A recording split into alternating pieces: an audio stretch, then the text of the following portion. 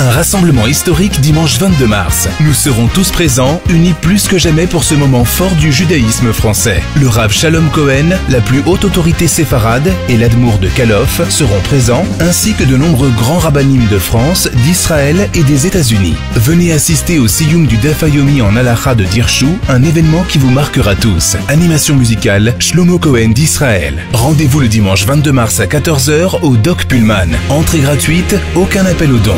Renseignements au 06 79 06 21 60.